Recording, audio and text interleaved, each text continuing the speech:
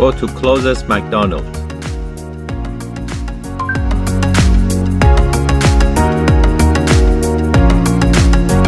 Head east on Conrad Crescent toward Hobbs Gate.